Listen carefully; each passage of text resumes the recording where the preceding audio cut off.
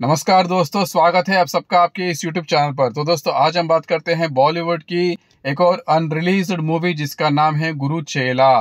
तो दोस्तों, अगर इस फ़िल्म के स्टार कैस्ट के बारे में बात किया जाए तो इस फ़िल्म में मिथुन चक्रवर्ती, अजय देवगन और मीनाक्षी शशाद्री के साथ साथ कहने कलाकारों ने इस फ़िल्म में काम किया था। तो दोस्तों, इस फ़िल्म को प्रोड्यूस किया था राजीव कुमार ने और इस फ़िल्म को डायरेक्ट किया था डेविड धवन ने। तो दोस्तों बात थी उन्नीस सौ तिरानवे की, जब इस फ़िल्म का अनाउंसमेंट किया गया था।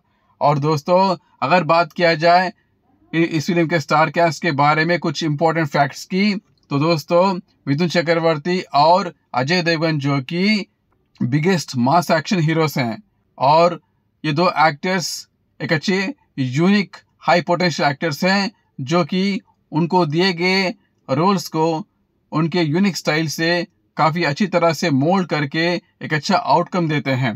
तो दोस्तों, ये दो एक्टर्स काफ़ी रियलेबल और हाई पोटेंशियल एक्टर्स हैं। अगर इन दो यूनिक एक्टर्स के साथ मीनाक्षी शेषाद्री जैसी highly reliable talented potential actors जुड़ जाए तो फ़िल्म एक अच्छी सुपर फ़िल्म साबित हो सकती थी। तो दोस्तों, अगर बात किया जाए इस फ़िल्म के डायरेक्टर के बारे में तो डेविड धवन जो कि एक अच्छे हाईली रियलेबल और हाई पोटेंशियल डायरेक्टर हैं, जो कि राइट स्क्रिप्ट और स्टार कैस्ट को बैलेंस करते हुए एक अच्छे, हाईली पोटेंशियल फ़िल्म निकालने में काफ़ी एक्सपर्ट हैं।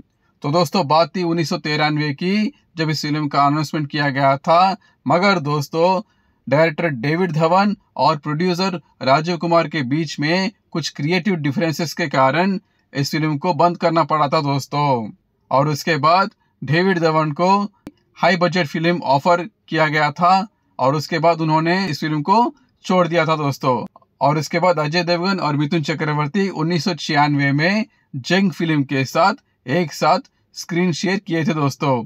तो दोस्तों, आप सबकी इस फ़िल्म के बारे में क्या राय है? अगर ये फ़िल्म बन के रिलीज़ होती थी तो ये फ़िल्म हिट होती, सुपर हिट होती या ब्लॉकबस्टर साबित होती, ज़रूर आप सबके कमेंट्स कमेंट करके बताएगा दोस्तों।